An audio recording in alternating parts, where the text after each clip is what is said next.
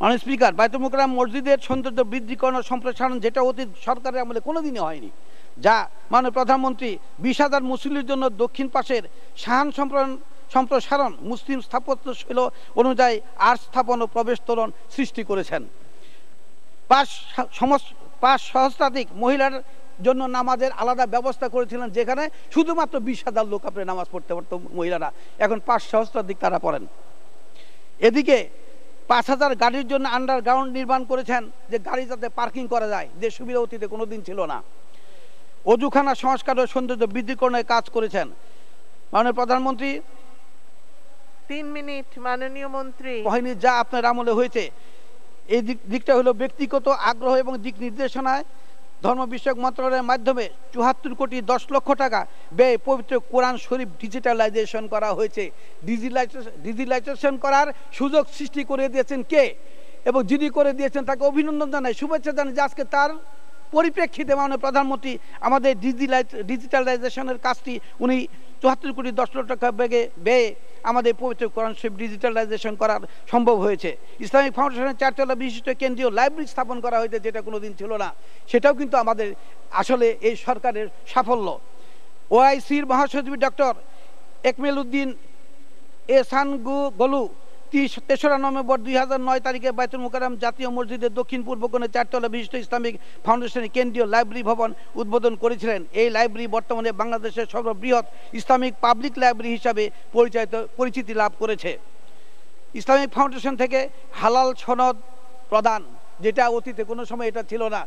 এই হালাল সনদটা আমরা দিচ্ছি এই কারণে বিদেশে, দেশের বাইরে গেলে আমাদের যারা মুসলমান ভাই বা অন্য গোত্রের যারা আছেন, তারা যেখানে যা কিছু খেতে চান সেখানে গিয়ে কিন্তু একটা অসুবিধার সম্মুখীন হন। আমি নিজেও কিন্তু সেই জিনিসটা হয়েছিলাম যখন মিশরে আমাকে মাননীয় প্রধানমন্ত্রী আমাদের স্পিকার মহোদয়ের মাধ্যমে পাঠিয়েছিলেন, সেই সময় সেখানে আমরা নিজেরাও কিন্তু গিয়ে হয়েছিলাম। আজকে এই হালাল খাদ্য পাওয়ার জন্য সারা বিশ্বে সর্বত্র যাতে আমরা হালাল খাদ্য পৌঁছাতে পারি এবং এই হালাল সার্টিফিকেট দিয়ে সেটা কার্যকরী ব্যবস্থা গ্রহণ করতে পারি, তার ব্যবস্থা ইতিমধ্যে গ্রহণ করা হয়েছে। ওআইসির মহাসচিব কর্তৃক চার আট দুই তারিখে ইসলামিক ফাউন্ডেশনের আগারগাঁও প্রধান কার্যালয়ে এই হালালের প্রথম ল্যাবের শুভ উদ্বোধন ঘোষণা করেন। মাননীয় প্রধানমন্ত্রী শেখ হাসিনার নেতৃত্বে অনুদান হিসাবে ইমাম ও মুয়াজ্জিন কল্যাণ ট্রাস্টের ফান্ডে দশ কোটি টাকা প্রদান করেছেন। অসহায় ইমাম মুয়াজ্জিনদের কল্যাণে প্রধানমন্ত্রী শেখ হাসিনা দুই হাজার এক সালে সর্বপ্রথম ইমাম মুয়াজ্জিন কল্যাণ ট্রাস্ট গঠন করেন, যেটা দুই হাজার এক সালের আগে কোনোদিন কেউ করতে পারেননি। মাননীয় প্রধানমন্ত্রী যখন দায়িত্বে ছিলেন তখন এই ট্রাস্ট গঠন করেছেন।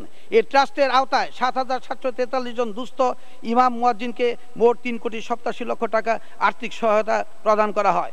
চট্টগ্রামের ঐতিহাসিক আন্দরকিল্লান শাহে জামে মসজিদ, সেটা সে মুঘল আমলের করা যে শাহী মসজিদ, সেই মসজিদটাতেও কোনোদিন কেউ হস্তক্ষেপ করে কোনো কিছু করার চেষ্টা করেনি। যা মাননীয় প্রধানমন্ত্রী ইতিমধ্যে চট্টগ্রামে ঐতিহাসিক আন্দরকিল্লা শাহী জামে মসজিদ উন্নয়নের জন্য একশো পঞ্চাশ কোটি টাকা একটা উন্নয়ন প্রকল্প বাস্তবায়নের জন্য উদ্যোগ নিয়েছেন। চট্টগ্রাম জামেতুল ফালা মসজিদ কমপ্লেক্স ইসলামিক ফাউন্ডেশন অনুকূলে ন্যস্ত করা হয়েছে। সেই ন্যস্তকৃত চট্টগ্রামের কেন্দ্রস্থলে বারো একর জমির উপর অবস্থিত জমেতুল ফালা মসজিদ কমপ্লেক্স ইসলামিক ফাউন্ডেশনের অনুকূলে ন্যস্ত করায় এবং সরকার ব্যবস্থাপনায় মসজিদ কমপ্লেক্স উন্নয়ন ও সম্প্রসারণে ব্যাপক কর্মসূচি হাতে নিয়েছেন। মসজিদুল হারা দুই মিনিট মাননীয় মন্ত্রী। ও ইমাম সাহেবদের ঢাকায় আগমন। এটা কিন্তু অত্যন্ত একটা গুরুত্বপূর্ণ বিষয় যা বাংলাদেশে আমাদের জন্য এটা ঐতিহ্যবাহী একটি বিষয়। ইসলামিক ফাউন্ডেশনের বিয়াল্লিশতম প্রতিষ্ঠা বার্ষিক উদযাপন উপলক্ষে মাননীয় প্রধানমন্ত্রী যখন এই দায়িত্বটা গ্রহণ করার পরে উনি যখন দায়িত্ব নেন এবং দায়িত্ব নেওয়ার পরে কিন্তু এই বিয়াল্লিশতম প্রতিষ্ঠা বার্ষিকী উদযাপন করেন মাননীয় প্রধানমন্ত্রী।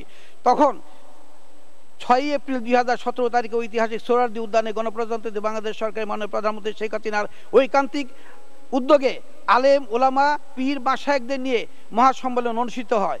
পবিত্র মসজিদুল হারাম ও মসজিদুন নববী কর্তৃপক্ষের ভাইস প্রেসিডেন্ট শায়েক doctor Abdul Mohsin bin Nasir al Khayam এবং পবিত্র মসজিদুল নববীর ইমাম ও খতিব শায়ক doctor Abdul Mohsin bin Abdullah al Qasim এ মহাসম্মেলনে বিশেষ অতিথি হিসাবে উপস্থিত ছিলেন।